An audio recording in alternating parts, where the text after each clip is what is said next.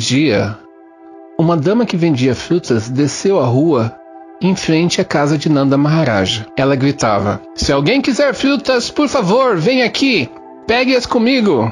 O pequeno Krishna, vendo isso, levou alguns grãos de arroz em sua mão. Ele tinha visto as pessoas mais velhas fazerem esse tipo de troca, e ele foi trocar os grãos pelas frutas. Mas aconteceu que nas suas mãos, que eram bem pequenininhas, mal cabia os grãos de arroz, e, e a cada passo ele deixava vários grãos cair no chão. Krishna era tão bonito e encantador que a dona das frutas ficou com o coração todo derretido ao vê-lo. Então, aquela moça aceitou aquele pouquinho de grãos e ela começou a encher a mão do menino com várias frutas, tantas que ele mal podia carregar. Enquanto ela colocava as frutas, ela só se concentrava na figura do menino. Krishna saiu e retornou à sua casa. Quando ela olhou para sua cesta, ela viu que havia se tornado cheia milagrosamente de joias justamente onde estavam as frutas de antes. Krishna, somente por obter alguns frutos, ele deu a ela uma grande fortuna. Em um outro dia, o Sr. Krishna estava brincando com Balarama e as crianças na margem do rio Yamuna. Já estava no final da manhã.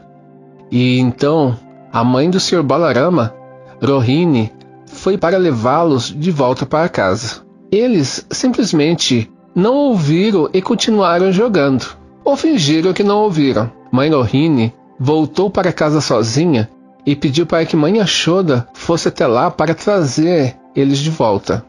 Mãe Ashoda foi correndo e ao ouvir as crianças disse: Já é muito tarde para o almoço. Vocês devem estar com fome e devem estar cansados por ter jogado tanto tempo.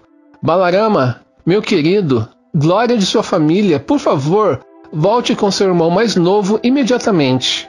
Seu pai, Nanda Maharaja, está esperando por vocês dois. Você deve voltar imediatamente para que ele possa comer.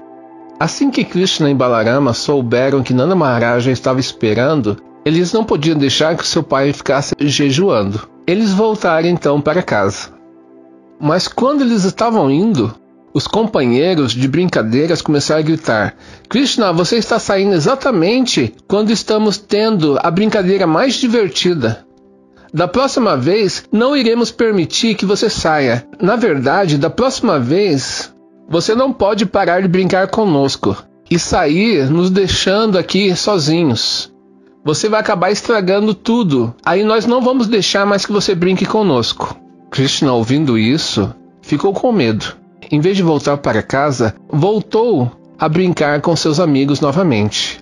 Mãe Ashoda repreendeu seus amigos e disse a Krishna: meu querido Krishna, você acha que um garoto de rua sem casa? Eu vejo que o seu corpo está todo sujo de ficar jogando durante toda a manhã. Agora volte para casa e tome seu banho. Além disso, hoje é seu aniversário e você deve ir para doar vacas aos sacerdotes e às pessoas em geral. Depois você pode continuar brincando. Então as crianças finalmente foram com mãe Ashoda, que levou eles para casa e deu-lhes um bom banho vestiu eles muito bem, com joias e outros enfeites, guirlanda de flores, e ela chamou os brahmanas, os sacerdotes, para sua casa e doou muitas vacas em caridade para comemorar o aniversário de Krishna em casa. Um dia, porque os demônios vinham incomodar as crianças com tanta frequência, todos os vaqueiros e os homens decidiram mudar suas famílias para um lugar mais agradável, perto de Vrindavana, chamado Colina Govardhana. Eles carregaram todos os seus pertences em carruagens. Os velhos, as mulheres, as crianças sentaram nas carroças. As vacas, os touros, andavam na frente.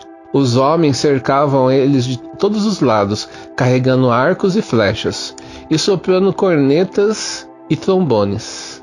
Quando chegaram lá, fizeram um grande círculo, mantendo os carros juntos. Depois, vendo a bela colina de Govardhana, que estava na margem do rio Yamuna, eles começaram a construir suas novas casas.